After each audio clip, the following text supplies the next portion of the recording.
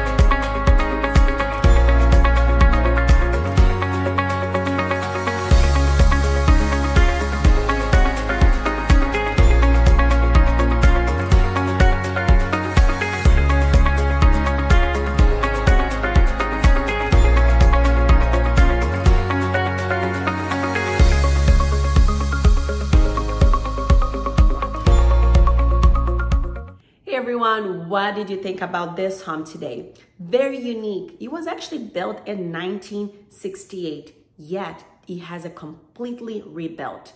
The foundation is still the same, but everything else is brand new.